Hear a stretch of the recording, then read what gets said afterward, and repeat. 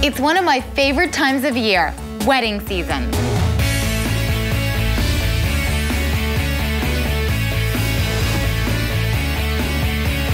Summer is one of the hottest times to get hitched, and whether it's a casual thing on the beach or a glamorous black tie affair, there's just something perfect about summer.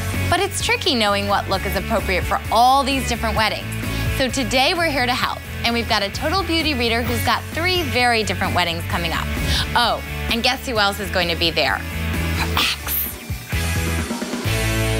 Okay, Charles, when I'm putting together the look I want for my hair, what are the main things I should think about? I think the dress is something that's really important, whether it has a modern silhouette, if there's something classic to it. Also, to take into consideration what your hair type is, your texture. If you have wimpy, fine, flat hair, that's maybe when you really want to go up, so that way you don't have to worry about it dying in a humid situation. You want a look that lasts all night long. What sort of essentials should be in your makeup bag? Waterproof mascara for various reasons. Because you're crying. You're crying, you might be perspiring, dancing, all those things. Take your blotting papers, take your powder, take your lip color. And believe it or not, when it comes to your foundation, less is more. I'm gonna put you guys to the test because we have Lori here. So let's bring her in. She's got three different weddings coming up. So Lori, tell us about the weddings you have coming up. Oh my gosh, I have one in Las Vegas, one on the beach, and one is a black tie affair. But you're wearing this dress to all three. Absolutely. So how about the beach, the first look?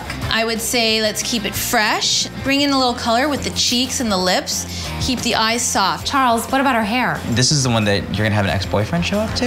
Yeah, he's gonna be there. Okay. With his new girlfriend. Oh, with his new, okay, so we gotta look, Gotta look hot. Oh, yeah. Natural wave is definitely the way to go with this because you're gonna be out in the elements and you don't really wanna necessarily worry about having to have a frizz situation happen. Well, the next one you have coming up is black tie. yes. Okay. More sophisticated. It's evening. We can get away with a little bit more drama, but you want to stay chic because this is a very classic dress. We're going to enhance it by, I think, maybe doing a little bit more of a dramatic lip. And what do you think about her hair to Uh, take it more formal?